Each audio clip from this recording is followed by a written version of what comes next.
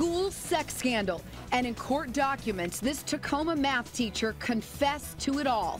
Drunken texts, naked photos, even sex in the classroom. She's frightened and confused. And now she's off the job after stunning accusations from three teenage boys.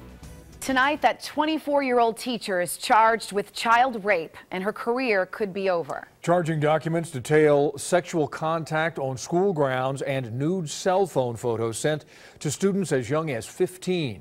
KIRO 7's Kevin McCarty first broke this story yesterday at 5 o'clock, and he joins us live now in Tacoma, where that teacher could be released any minute. Kevin?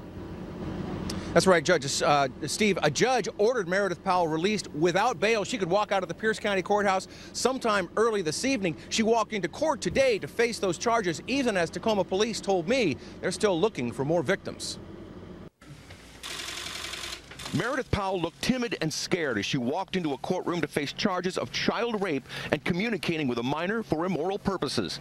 The 24-year-old math teacher from Lincoln High School in Tacoma is accused of having sex with at least two male students, as well as sending illicit sexual texts to a third boy.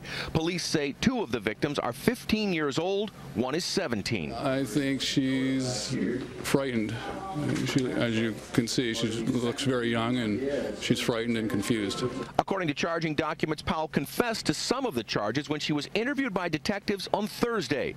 According to that probable cause affidavit, she admitted she kissed a victim identified only as MR on the day of the Martin Luther King Day assembly at Lincoln High. Another victim, identified as LH, told police they sent texts to each other and she sent him pictures of her naked in a bathtub.